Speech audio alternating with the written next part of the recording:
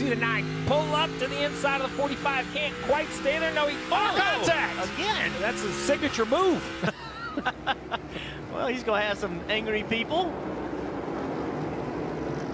Oh, he uses him up right here, up the racetrack. Tight. Door, tight door. Look at this, Still Chase Elliott with the aggression. Kurt Busch with some momentum down the back straightaway, though. What's Chase going to do? Tries to drive into the corner. Will he keep it on the bottom or try to wash up right on that white line? Kurt's going to fight back down the front straight.